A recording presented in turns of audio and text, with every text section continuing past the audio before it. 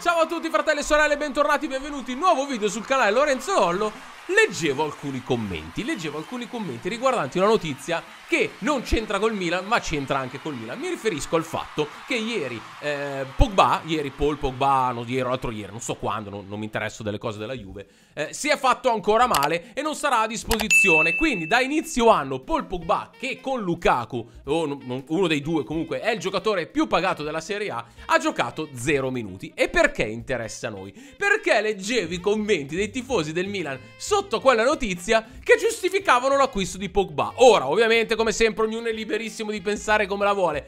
Ma scusate ma sono due pesi e due misure fatti dagli stessi tifosi del Milan. Da una parte abbiamo Pogba che ha giocato 0 minuti eh ma Lollo, la Juve fa bene a pagarlo così tanto perché se non avesse problemi fisici, fisici probabilmente sarebbe il centrocampista più forte della Serie A. A parte che discutiamone se sarebbe il, il centrocampista più forte della Serie A. Ma al di là di questo, raga, allora vale per tutti. Cioè, anche, anche, anche Orighi, anche Orighi se non avesse problemi fisici potrebbe rientrare nei 3-4 eh, attaccanti più forti della Serie A. Ante Rebic, se non avesse problemi fisici che purtroppo ha avuto durante quest'annata, poteva essere uno degli esterni d'attacco più forti della Serie A. Ma è ovvio che quando tu vai a fare una valutazione all'interno de dell'annata di un giocatore ci metti anche il fatto che è stato disponibile o per quanto è stato disponibile e per quanto non è stato disponibile. Ma al di là di questo, cioè la cosa che mi fa, mi fa ridere che sembra che alcuni tifosi del Milan siano subito pronti con la pala a prendere la M, a buttarla addosso quando si tratta dei nostri giocatori. Invece quando si tratta degli altri, eh beh Lollo, ma la Juve fa bene a pagare 8 milioni di euro un giocatore. Eh ma scusami, ok va bene, ci sta, è la tua opinione, ma allora vale per tutti. Allora lo stesso identico discorso lo devi fare anche Orighi o per Rebic o anche tanti altri giocatori che non sono a disposizione, che non sono stati a disposizione per problemi fisici. O lo fai per tutti o non lo fai per nessuno. Non è che perché in questo momento le cose stanno andando male allora lo puoi fare così per spalare la M sui giocatori del Milan e invece sui giocatori della Juve e altri giocatori va bene. Questa è la mia opinione, fatemi sapere qua sotto che cosa ne pensate. Veniamo alle notizie. Tra l'altro, raga, io spero che questo, come ho detto stamattina sul mio account Instagram, seguitemi anche lì, Lorenzo-Basso Lolo Music eh, io spero che questo febbraio sia foriero, sia foriero di aria buona e ci porti un po' di cose positive perché ne abbiamo bisogno. Abbiamo bisogno di cose positive, abbiamo bisogno di un ambiente positivo perché dobbiamo spingere i nostri ragazzi perché poi soprattutto domenica c'è il derby che già, come vi dico sempre, già il derby di per sé mi porta delle agitazioni, mi fa salire l'ansietta di qualche punto in più. Immaginate un derby, visto come è andato l'ultimo derby, immaginate il derby di domenica e nelle condizioni in cui noi ci arriviamo. Ragazzi, come vi, come vi, ho detto in altri video, il derby di domenica è... No, no, no, no non la... Mm, la chiamerei un'occasione. È l'occasione per dare un cavolo di giro di vite e far sì che la nostra stagione riparta. È come accendere il motore. È come quando in un famoso film degli anni Ottanta giri il cappellino.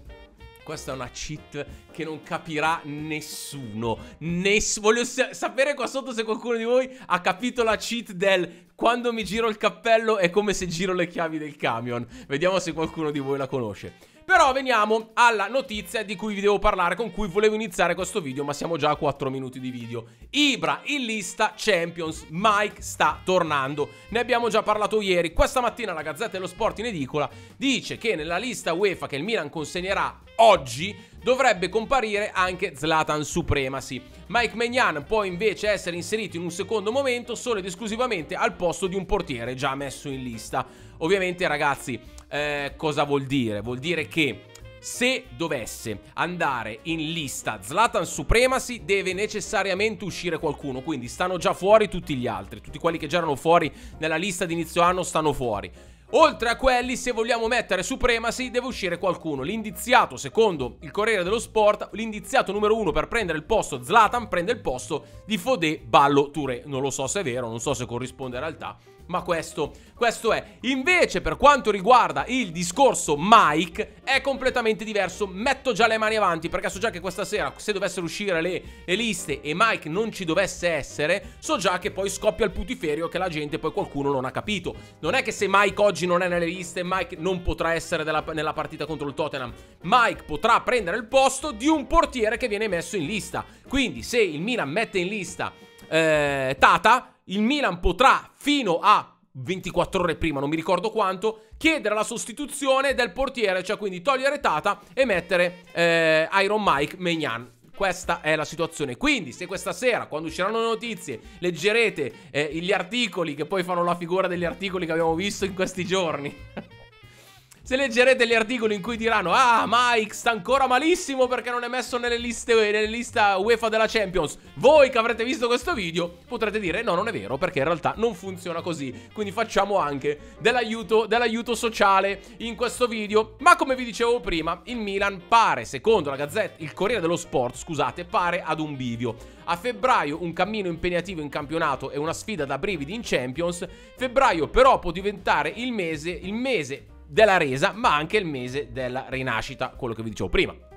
Febbraio Abbiamo talmente tante cose importanti in questo febbraio che può essere o il mese in cui noi rina eh, si rinasce, rinasciamo centimetro su centimetro, quello che vi dicevo ieri, oppure facciamo una resa completa e poi sarà veramente una navigazione difficile fino alla fine del campionato. A rendere ancora più suggestivo lo scenario del derby è la data, il 5 febbraio 2023, giusto un anno dopo quel 5 febbraio 2022 che ha iniziato e ha segnato la clamorosa rimonta del Milan che era in ritardo. Quando ci fu il primo gol di Perisic, Perisic poi Giroud capace di capovolgere e girarsi persino due volte. Quindi passando da un virtuale meno 7 in classifica ci, ci trovammo pochi minuti dopo con un meno 1 con l'Inter che però aveva ancora da recuperare la gara contro il Bologna. Eh, la gara contro il Bologna, eh, l'asterisco del Bologna alla fine non si è eh, riservato. non è diventato Tre punti. Eh, poi vi devo parlare di una notizia di mercato. Cosa è successo, raga? Abbiamo un giocatore che ci lascia. Cioè, ci lascia, va, va in un'altra squadra, eh, ci mancherebbe. Sky, Marco Lazetic si trasferisce all'Attack, l'Attack in Australia, non so come si pronunci con la formula del prestito. Allora ragazzi, eh, io su Marco, vi dico la verità, ho sempre visto le, eh, la possibilità che diventi un bel giocatore, perché comunque ha fisico, ha tutto. Però, sinceramente, è un giocatore che vedendolo giocare ci si rendeva conto tutti che era un giocatore che aveva bisogno di giocare i, giocato- I, giocatori giovani, raga, i giocatori quelli giovani hanno bisogno di mettere tanti minuti nelle gambe. Quindi se in prima squadra non hai la possibilità di farlo, o gioca in primavera, oppure si va a cercare un'altra destinazione per giocare un anno da titolare. Meglio, pa- parlo, parlo per la scelta che avrei fatto io, eh, se ci fosse stata la possibilità. Magari l'avrei mandato a giocare in una squadra italiana anche per averlo sott'occhio, ma probabilmente la sua scelta di andare all'Atac o all'Atac è per, eh, insomma, boh, avrà deciso lui così. Comunque, Bu buon per Marco Lazetic, mandiamolo là a fare le sue, le sue, queste Poi vi devo parlare di una notizia che è uscita questa mattina e, mi, e il commento che voglio fare è, ma chi cazz'è? Cioè, proprio tutto attaccato, ma chi cazz'è? Questa mattina Foot Mercato, Foot, Foot, Foot Mercato dice il Milan potrebbe decidere di intervenire subito nel mercato, eh, nel mercato eh, degli svincolati ingaggiando Mangala ex City. Esattamente, qua, e qua tutti quelli che leggono dicono Ma chi cazzo è?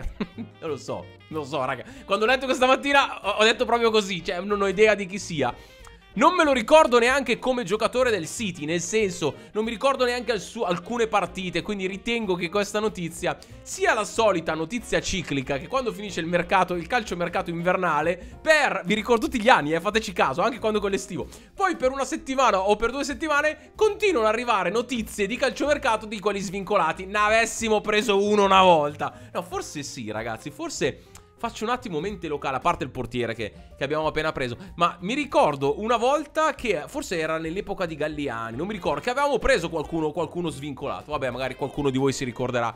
Lo scriva, lo scriva qui sotto. Ma veniamo a quello che è il titolo di questo video, e cioè...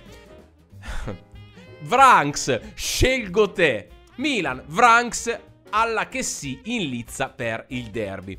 Come riportato dal Corriere dello Sport, che conferma tutte le news sulla formazione uscite in precedenza, nel derby contro l'Inter, Mister Pioli schiererà Kier al centro della difesa, quindi esclusa, eh, escluso l'utilizzo di Ciao. Per il centrocampo si valuta con molta insistenza la presenza di Aster Vranks, l'unico in rosa che ha una, una vaga somiglianza con Frank Chessy. Questo scrive il Corriere dello Sport. Raga, io credo che oh, attenzione, io credo che il derby, come vi dissi in altre partite, io inizio a non prenderle. Lo so che qualcuno di voi storcerà il naso. Io inizio a non prenderli. I gol. Magari non andando sotto i primi, il primo quarto d'ora o il primo tempo di due o tre gol. Inizio a non prenderli. E poi vedo nel secondo tempo cosa succede.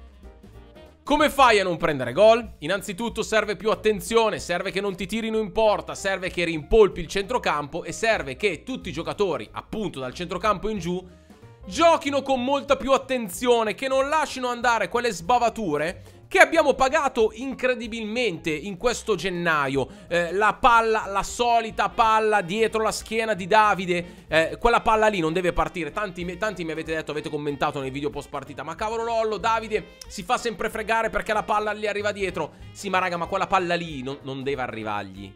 Cioè, non so se mi spiego. Cioè, quella palla lì è una palla che non dovrebbe neanche arrivare in quel modo. Non arriva in quel modo se tu hai un centrocampo che sta magari più attento alle palle che passano e quindi gli imp impedisce ai giocatori di fare quel tipo di lancio. Derby, Lecce, Lazio, Sassuolo, sempre quella palla lì quella palla lì dietro i nostri, i nostri, terzini larghi in difesa, palla dietro e giocatore che taglia e ci frega. Fate mente locale, guardate che ve l'ho già detto questa cosa, ma fate mente locale che vi ricordate abbiamo preso un sacco di gol così. Non è per parlare male di Davide, eh raga, semplicemente per farvi capire che è una situazione tattica che so penso che Mister Pioli stia affrontando, perché è una cosa che è successa più volte, quindi penso proprio che verrà affrontata.